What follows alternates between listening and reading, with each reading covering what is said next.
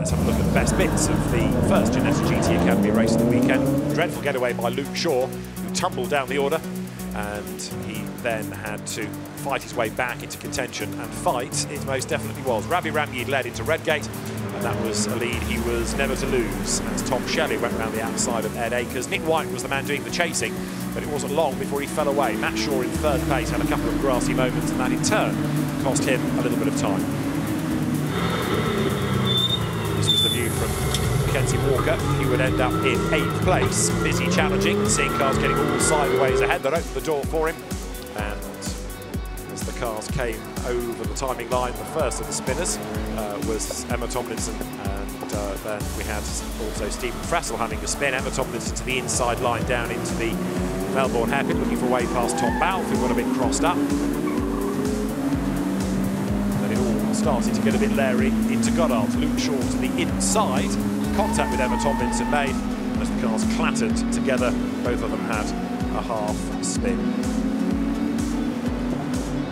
GT Academy cars will be uh, back on track tomorrow. And uh, for now, Ravi Ramyead heading into tomorrow's races looking as though a championship might be going his way. He started the weekend in perfect fashion with pole, a race win as well, and a race win by 2.2 seconds. Ravi Ramyead takes honours in race one of the weekend in the Ginetta GT Academy.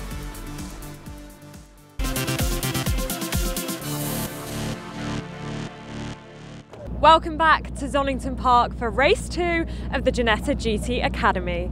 Things are hotting up in this championship as Ravi Ramyead starts on pole again and it is going down to the wire.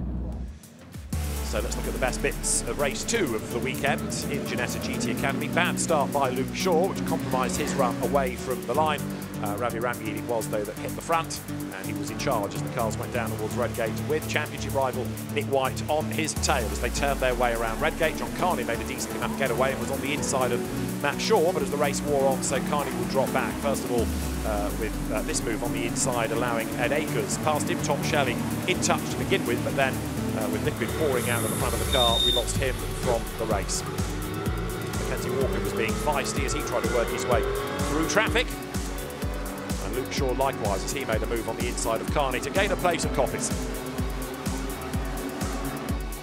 For the race lead though, Ravi Ramyead under attack from Nick White and when Ramyead made a little mistake at the Melbourne hairpin, White went through they rubbed, Ramyead got onto the grass, and Nick White looked as though he was clear. But a corner later, it all went wrong because powering his way onto the pit straight across the back of the car, and around he went. He fell to fourth, and that's where he stayed. Tyres are squealing as he got going again, but Ravi Ramyead had his lead back, and that's where he was going to stay. Charlotte Lowe went off into the gravel trap. That brought out the safety car.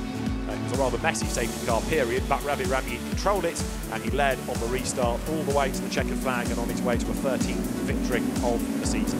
It means the championship remains alive going into the last round. It's still between Ravi Ramyead and Nick White, and the championship decider will be up later on in the afternoon here at Donington Park.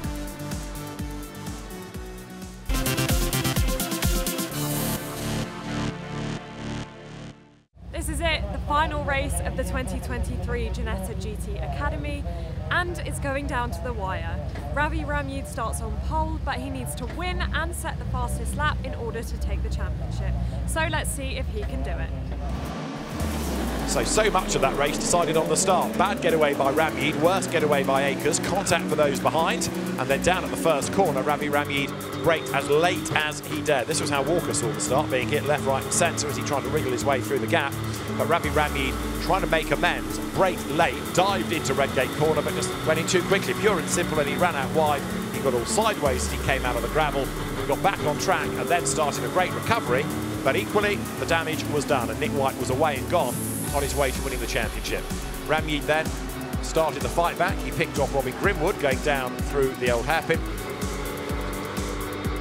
And then he had a go at Mackenzie Walker as they battled into the Melbourne hairpin. Through on the inside went Ramyead. Another place gained as he was getting closer and closer to the leading gaggle, but he had to win the race and take the fastest lap, and that was looking unlikely as Tom Balfe had a spin at Goddard's and was just clipped by Emma Tomlinson's car. Ramy did take the fastest lap of the race, but he couldn't get close enough to this man, Nick White came through to win for the 12th time this year and also to win the 2023 Ginetta GT Academy race winner and champion, Nick White.